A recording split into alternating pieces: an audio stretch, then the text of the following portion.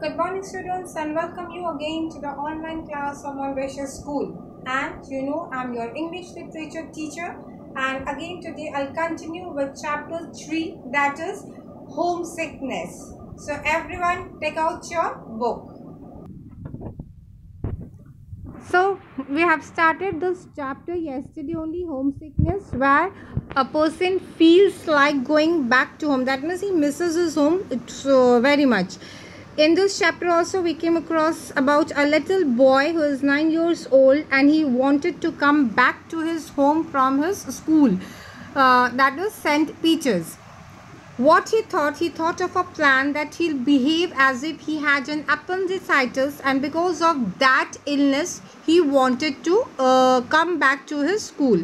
And how he knows about this? Because his sister recently had it. So he knows the symptoms of these uh, very uh, nicely and that is why he thought of taking this uh, so that he can go back to his home. So this chapter that para 4 already I have uh, uh, already I have gone through with this para 4 and today I'll just explain it that though the sister she had an operation uh, of appendicitis but the operation has not been done in any hospital. It is done at home only by the local doctor and the anesthetist and his anesthetist. Anesthetist is a kind of uh, substance that is given to a person so that the part where it will be operated just to make that part so that the uh, that part was done uh, anesthesia so that the person should not feel anything any pain from that part okay on this occasion I can remember lurking in the corridor outside the nursery while the operation was going on. Lurking here means everyone used to wait quietly and secretly because something very important was going inside the house. My other sisters were with me and we stood there spellbound. That means watching what will going to happen. Listening to the soft magical murmurs. That means the noise that they used to get coming from behind the locked doors and picturing the patient with her stomach sliced open. We could even smell the sickly fumes of ether filtering through the crack under the door. So they can see that the part which has to be operated, they have opened that part and then the operation had been started. They could also smell all kind of medicine as it was used. So all those type of smell they can also uh, they can smell all those things also. The next day, we were allowed to inspect the appendix itself in a glass bottle. Now, appendicitis, it's a kind of it's a kind of thing it's a small organ that is attached to the intestine. Okay this i already explained you yesterday. So in the operation this has to be removed and then it was put in a bottle just to show the other members of the family. It was a longish black wormy looking thing and I said, do I have one of those inside me, nanny? So he's asking to his nanny also that whether this type of thing is there inside his body also or not. Everybody has one. Nanny answered. So what the nanny answered that yes, every one of us had this appendicitis in our body. What's it for? I asked her. Then she asked, What is the use? What is the function of it?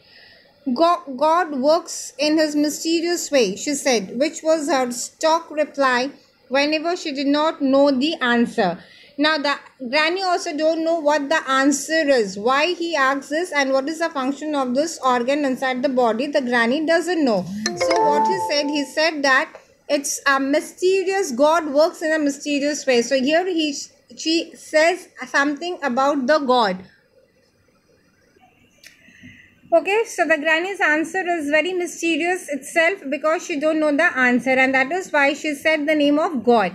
What makes us go bad? I asked her. Then his next question is why we has to be operated it and to take it out?